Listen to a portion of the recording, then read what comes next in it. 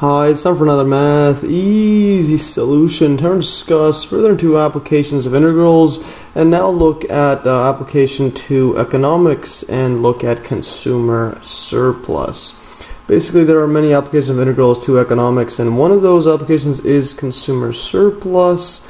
And I'll go over uh, the definition derivation in this video. Basically, uh, recall from my earlier video on marginal costs uh, versus marginal revenue that I showed that the demand function P of X is the price that a company has to charge in order to sell X units, X number of units of um, a commodity, such as um, yeah, such as computers, etc. Just, uh, just pretty much anything, and um, and you could see that video in the video link below in the description.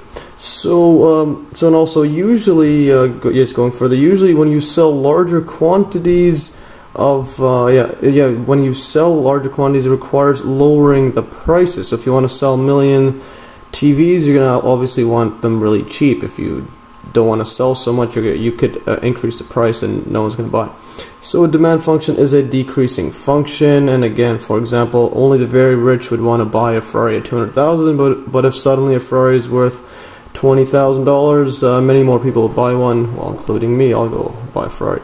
So the graph of a typical demand function is called a uh, demand curve, and uh, it's shown below. I'll draw that out soon. So if capital X is the amount of the commodity that is currently available, then capital P equals P of uh, capital X is the current selling price. So if we were to draw this out, so a typical demand curve looks like this. This is X, and this is in uh, units. So that's those are the units and then little p right here. And again, this is price per unit that we're gonna be, we're gonna set. So demand curve, it's gonna be a decreasing function because yeah, the higher the price, the less people buy. So it's gonna look something like this. Typical one looks something that looks like this, unless you're uh, Apple and the higher price of an iPhone, the more people buy for some reason. Anyways, uh, so this is cap at this point right here this is, let's say, the capital X. That's your selling point. I know that that is the number of units you sell when you set the price over here at capital P. So at this point is capital X, capital P. This function is P equals to P of X, and this is the uh, demand curve like that. And now before getting into a uh, more formal definition of the consumer surplus, let's just get an idea of what I mean by that. So let's consider a simple case where a group of people value, yeah, just correct that. So let's say they value a product at $20, but it's actually selling for $10. This uh, Basically, this just means they value the product more than the price it currently is at. In other words, if the price was decreased to $20, they would still buy it. So these guys value uh, this product a lot. So if this group of uh, people buy five units at a price of $10 per unit, which is the selling price initially, to them they would be saving $10 per unit because they value it at $20 per unit. You could think of a discount, etc. So you would still buy, but with a discount, uh, yeah, you'll just save money from what you were going to pay. Thus, to them, they would save a total because there's five units you're buying at $10 per unit. And then the difference is well they valued at $20 to 20 minus 10 is so they save $10 every time they buy one. That's 5 times 10 equals 50 and plotting this on the demand curve what we get so basically it will look like if you were to draw this on a demand curve with using a typical demand curve again like the one uh, like the one above so it looks something like this so if we if the asking price is here at ten dollars and this is uh, just whatever this is capital X. Yeah this is the number of total sales we'll get uh, based on this price so this is ten dollars. And let's say at the asking price so this group of people will lie on the price well they valued at twenty dollars. So let's draw that let's say over here so this one is the value they valued at twenty dollars so they, they would have paid over here at this point like that and what I'm to do is draw this across like that. And let's say they bought five units. Just, so this is just anywhere like that. This is five units they bought. So from here to here is about 5 units. This is just again number of units. And so now if we were to graph this out, uh, no, just just put a rectangle above like that. So um, what we can do here is so basically if we were to shade in this full uh, yeah this full rectangle like this this this represents basically the total cost because this is twenty dollars per unit yeah I'll draw that out. again this is all per unit so twenty dollars per unit ten dollars per unit like that so the multiplication of this uh, this price per unit times by the number of units we get the total cost so this shaded above curve right here since we're going all the way up to the $20 mark this is the cost willing to pay by these users, uh, by the, this group of individuals that value it at $20. So cost willing to pay equals to, well, the cost per uh, unit willing to pay is $20 per unit multiplied by the number of units, which is 5 units. So this uh, units cancel, we're just left with, well, $100.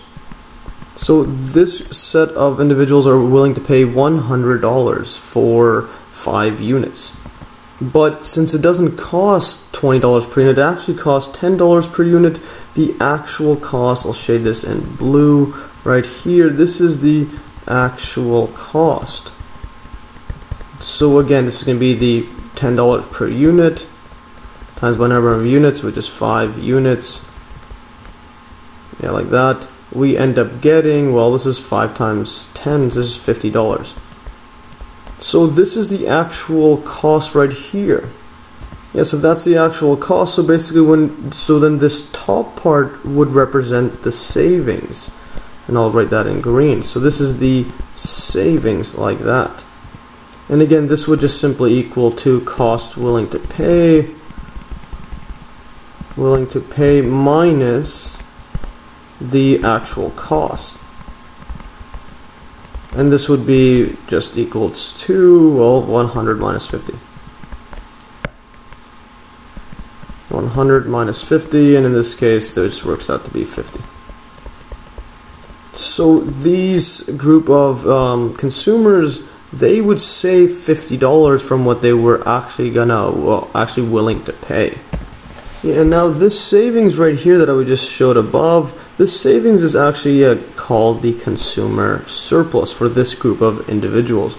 And now, yeah, that was just a simple case. Now we could extend this definition to a more general integral integral formulation for the overall consumer surplus or the overall savings of all the consumers. Again, now now what we'll do is like always with uh, when we derive integrals, we divide interval. Um, this is in this case zero to capital X or the number of units we expect to sell at the price we're setting it to in, um, in, in basically n subintervals. So we're going to break that into n. I'll draw that in a bit. Each of equal length delta x equals to capital X divided by n. And we're going to let the sampling point xi star, which is the point that um, we draw each of the uh, subintervals. Again, learn more about this in my integration videos. We're going to just let this equal to xi be the right endpoint of the ith interval, subinterval. And again, if after the first xi minus 1 units were sold, a total of, of xi units had been available and the price per unit had been set at pxi, then the additional delta x could have been sold, but no more. And I'll again illustrate this further, but it's all similar to the above simple case. I'll, I'll illustrate these points above right here. So if we have this demand curve again like that, so at this point, this is going to be our capital X. Here is going to be, we're going to draw a line like that. This is our capital P, which is our price per unit. And again, at this point, this is the capital X and capital P, like that. so we're going to break this up into uh, sub-intervals. We'll go from, let's say, X1, X2, etc. Keep going until we get to, well, let's say xi is here. Keeps going like that. And over here, this one is xn. So the last point is xn. And here we'll call this xi minus 1. And again, the xi star is the point that connects to this uh, curve right here, which is p equals to p of x. and and in this case we're choosing it to be the right endpoint. And this this point could be any point in inside this interval. Again this is delta x width. So this and we're choosing the right endpoint. So this is the, the sampling point or xi star is the point that touches this curve. So since we're finding the surplus uh, consumer surplus is just going to be any all the uh, points above this or all the subintervals or rectangles above this line P exactly as the simple case uh, that I illustrated above. So we're going to have something that looks like that. Let's draw this further. The last one is a straight line like that. Yeah, let's draw this a bit neater. So we're going to do this for every single part like that. So whoops, this one goes like that. Draw this line across like that. And this last one like this. This is like that and like that. Again as far as point zero. And now to uh, basically to describe this part more in detail. So if after the first xi minus one unit so that's let's say you sold up to here were sold a total of xi units had been available. So if the price was yeah, was set at p of xi, which is right here, p of xi. Then going from here, which is p of xi minus 1, then the additional delta x could have been sold, but this is but no more, because again, this is based on if we were just following this curve uh, exactly, because if we increase the price from here, uh, I mean, if we decrease the price from here to here, the farthest it will go is delta x, like that. That's based on our curve and for different cases you have different uh, numbers for whatever demand curve. Yes, so now the consumers who would have paid P of xi, since again all of these values here are higher than this this uh, original selling price like that, everyone is basically valuing it at a uh, on the product. They're giving it a high value or higher than the price that it's selling for, and basically, this just means they would have paid what it was worth to them. So, if so, what each one of these represents pretty much a group of individuals that would only buy, uh, no, that are willing to pay whatever this uh, amount is. But if they were going to pay less than what they thought it was worth, so in, so basically they're going to be willing to pay p dollars, which is the selling price. Again, they would save an amount similar to uh, basically the same idea uh, that I showed in this simple case.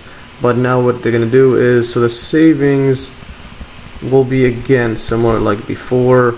Price willing to pay or I'll just go uh, cost willing to pay right here. Yeah cost willing to pay and again minus the uh, actual cost And in this case, the only difference is now the price is general, just as P of xi, and then times by the number of units, which is delta x, like that. Yeah, this is to buy this number of units, this delta x. We're going to be willing to pay this full amount like this, all the way drag it down. And then minus the actual cost, which would be, well, if I draw it like this, which is just this rectangle, which is going to be capital P or the pr actual price times delta x. And this one could be just uh, factor out the, the delta x we get P of xi minus P and this is going to be our delta x. And again this part right here could be represented as the savings per unit of that group of individuals right like that and that could be this point right here that's our savings per unit like that. And now considering a similar group of willing consumers for each of the sub-intervals or basically different price points, some value it at really high so they'll pay but but again very few people value any specific product really high and a lot of people value it would value it less so that's just basic economics. And then adding the savings when we when we group when we find basically consider all the similar groups or just a bunch of similar groups and, and then summing them up we get the total savings as let's write total savings.